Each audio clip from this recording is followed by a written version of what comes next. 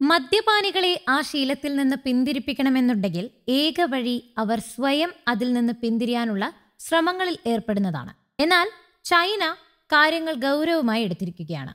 ഇപ്പോൾ പുറത്തുവരുന്ന വാർത്തകൾ അനുസരിച്ച് ചൈനയിൽ മദ്യപാനികളുടെ എണ്ണത്തിൽ വൻ വർധനയാണ് രേഖപ്പെടുത്തിയിരിക്കുന്നത്. ഇത് മുന്നിൽ കണ്ട് ചിപ്പ് ഉൽപാദനം ഇരട്ടിപ്പിച്ച് ചൈന. മദ്യപാനവും ചിപ്പുകളും എങ്ങനെ ബന്ധപ്പെടുന്നു? ചൈനയ്ക്ക് ഉത്തരമുണ്ട്. മദ്യാസക്തി കുറയ്ക്കുന്നതിനായി മനുഷ്യരിൽ ചിപ്പ് ഘടിപ്പിച്ചുള്ള ചികിത്സ ആരംഭിക്കുകയാണ് ചൈന. വെറും അഞ്ച് മിനിറ്റ് മാത്രമുള്ള ശസ്ത്രക്രിയയിലൂടെയാണ് സ്ഥിര മദ്യപാനിയായ മുപ്പത്തിയാറുകാരനിൽ ആദ്യമായി ചിപ്പ് ഘടിപ്പിച്ചിരിക്കുന്നത്.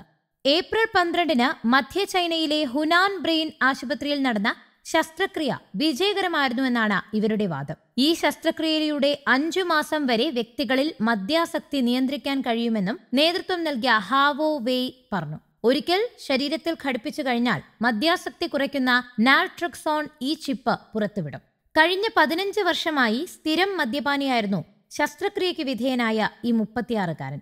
എല്ലാ ദിവസവും പ്രഭാത ഭക്ഷണത്തിന് മുൻപ് തന്നെ ഒരു കുപ്പി മദ്യം അയാൾ കഴിക്കുമായിരുന്നു. മദ്യം കഴിക്കുന്നതോടെ അക്രമിയാകുന്ന ഒരാളിലാണ് ഈ ചിപ്പ് ഘടിപ്പിച്ചത്.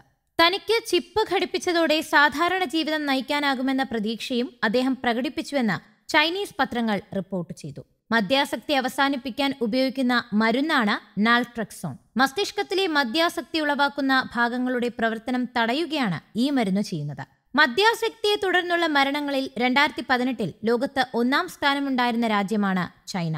ചൈനയിൽ ഏതാണ്ട് ആറ് ദശാംശം അഞ്ച് പൂജ്യം ലക്ഷം പുരുഷന്മാർക്കും അൻപത്തി ഒൻപതിനായിരം സ്ത്രീകൾക്കും രണ്ടായിരത്തി പതിനേഴിൽ മദ്യം അമിതമായി ഉപയോഗിച്ചതിനെ തുടർന്നുള്ള രോഗങ്ങളാൽ ജീവൻ നഷ്ടമായെന്നാണ് the Lancet medical journal report ചെയ്തത്. നാൽപ്പത്തി അഞ്ചിനും അൻപത്തി ഒൻപതിനും ഇടയ്ക്ക് പ്രായമുള്ള പുരുഷന്മാരിലാണ് മദ്യാസക്തി കൂടുതലെന്നും കണ്ടെത്തിയിരിക്കുന്നു.